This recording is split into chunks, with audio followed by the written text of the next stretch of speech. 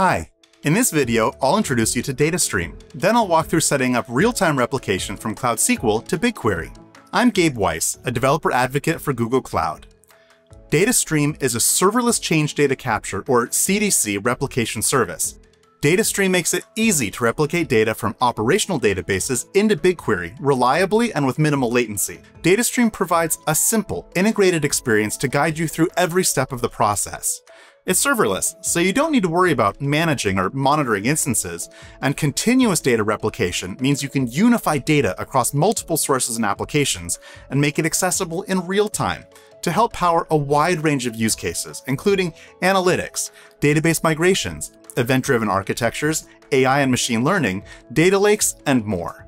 Whether your source database is on-premises, self-hosted in Google Cloud, or running on another cloud, DataStream helps you quickly unlock the benefits of real-time replication. Now let's walk through the DataStream experience.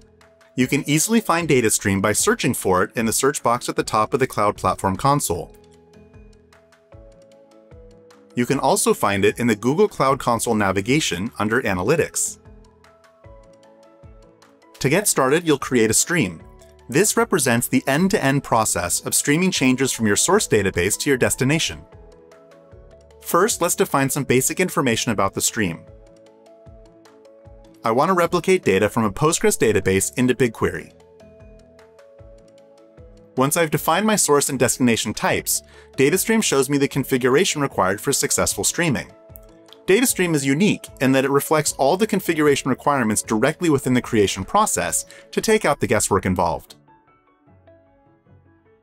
For example, since I chose Postgres as my source, I can see the requirements for setting up the necessary logging configuration and permissions. After confirming the necessary prerequisites, I'm ready to define my source. I can do this by creating a connection profile, a resource that represents the information needed to connect to a database.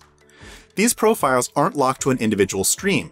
This means I can reuse profiles if I want to, and also allows me to hand off creating the source configuration to someone else in my organization who's in charge of connecting to the database.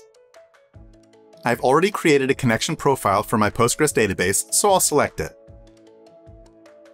Whether I create my source connection profile now or use one I created in advance, I can test connectivity to make sure DataStream is able to reach it.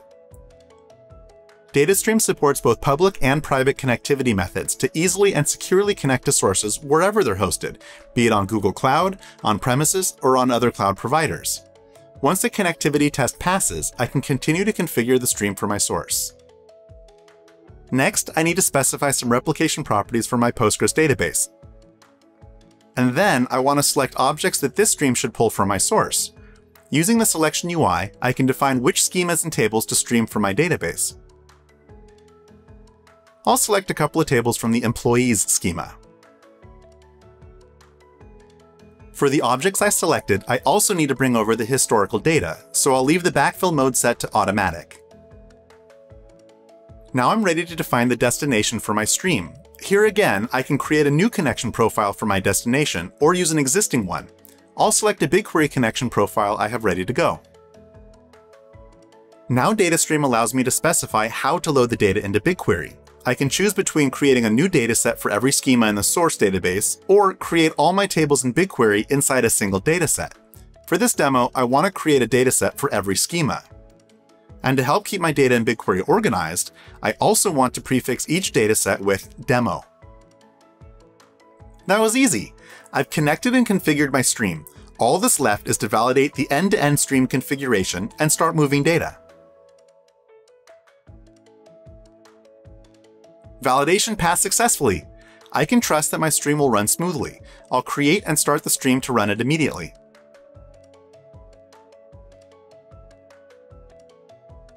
DataStream will perform the historical backfill and continuously replicate changes as they happen. I can monitor different metrics of the stream, such as throughput, latencies, and more. With data now continuously being replicated into BigQuery, I can query real-time data and get up-to-date information on all my business processes, build reports and predictive analytics with machine learning, and easily provide secure access to my data across the organization. And that's it! I've quickly and easily shown you how to continuously ingest changes from a Postgres database into BigQuery using DataStream, And since DataStream is serverless, it will automatically scale up and down to handle my data volumes and maintain minimal latency.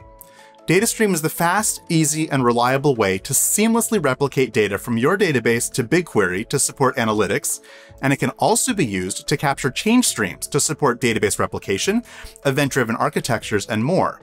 It's serverless, high performance, and easy to use. Now it's your turn to give it a try. You can get started from the Google Cloud Console or learn more at cloud.google.com/datastream. Thanks for watching.